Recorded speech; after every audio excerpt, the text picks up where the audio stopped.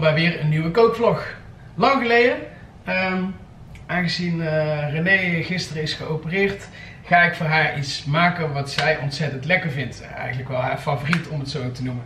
Ik had beloofd aan uh, Mandy, Mandy Dame dat ik eerst de lasagne zou gaan maken, maar je begrijpt, dit heeft natuurlijk voorrang. Um, we hebben lekkere runderlappen. We hebben ui en we hebben wat specerijen. We gaan weer lekker koken. Zo. Pan, pannetje op hoog vuur. Goeie zware braadpan. Het is een beetje dezelfde werking als een uh. Voor mensen die weten wat een tagine is, dat is een uh, Marokkaanse stoofpot.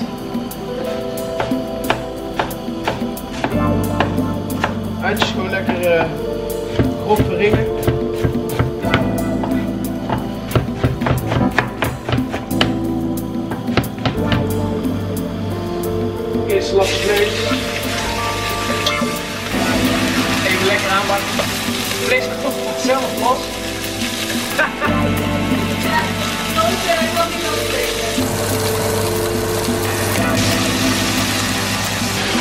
Ik ook heel vaak even doe, is even de koelkast induiken.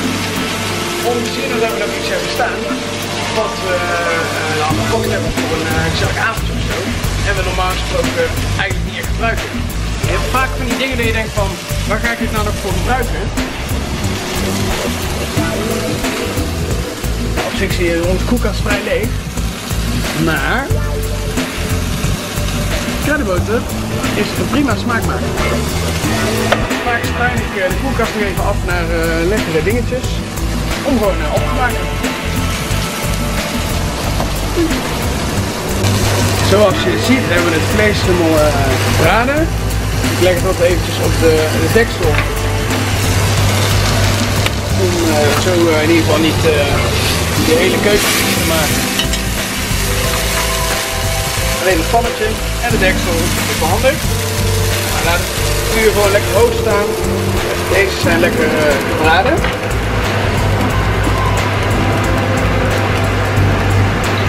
Nu doen we er gewoon een hele scheut olie bij.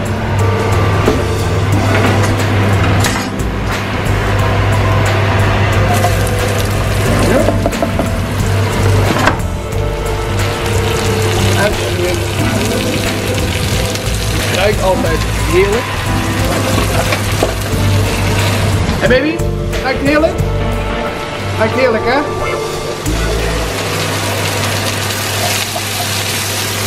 Een beetje roeren.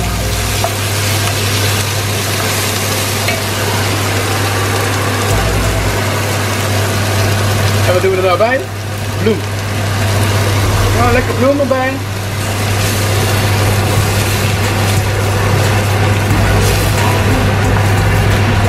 Mij heeft ook nog een uh, keukenterm. Die weet ik even niet meer.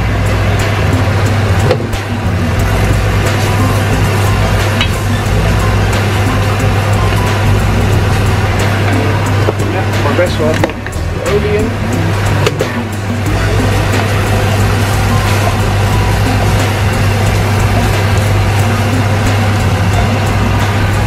Nou, dan maar even lekker sudderen van Sander gehad.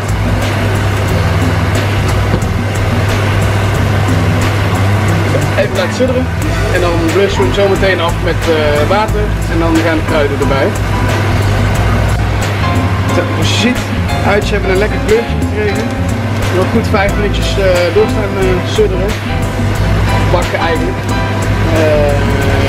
water erbij.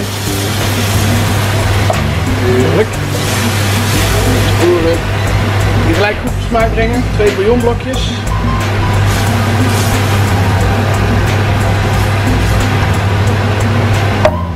En de kruidenboter zit er wat dichter uh, bij. Zodat hij een beetje smelt.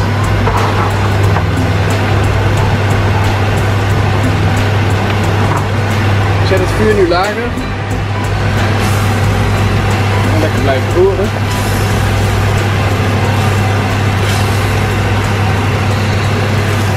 Eigenlijk hoe donkerder de uitjes, hoe lekkerder uh, smaak ze gaan geven. Omdat ze dan gewoon goed gekarameliseerd zijn. En dat geeft gewoon ontzettend veel smaak aan de En de jus en de saus.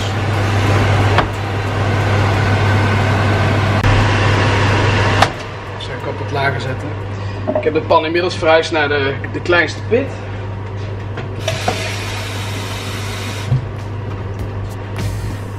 Extra water bij.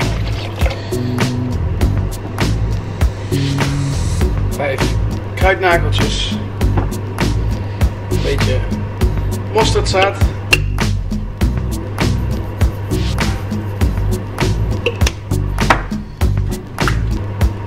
Deze echt super lekker, niet te veel.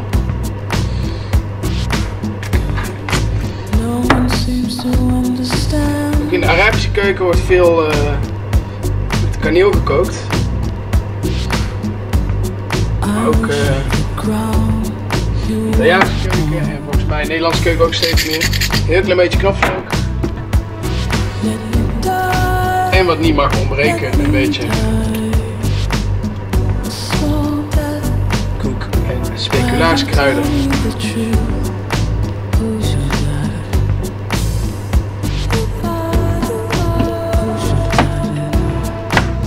Een beetje zout, niet te veel. Dat kun je altijd later eh, toevoegen. Omdat natuurlijk eh, de bouillon eh, erin zitten. Een beetje roeren.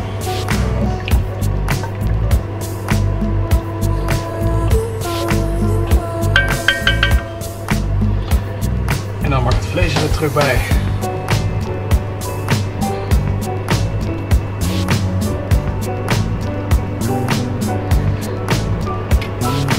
Lekkere lappen vlees.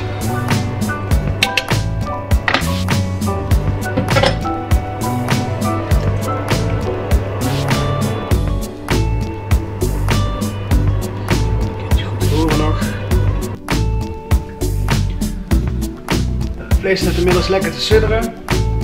De kruidenboter eventjes eh, op de pan gezet. Die is ook lekker gesmolten, dus die kan erbij.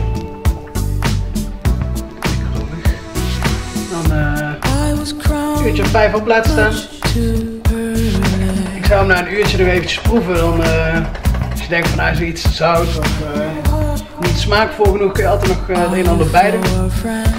Als je te lang wacht, dan, ja, dan trekt het ook gewoon niet meer lekker in het vlees. Dus dan eh, tell me the heb je er niet te veel aan.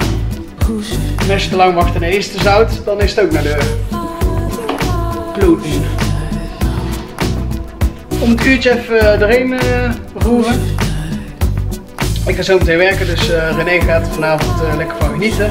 En die zal je dan laten horen wat het eh, eindresultaat is. Ik verwacht wel dat ze het lekker gaat vinden. Wat denk jij, baby?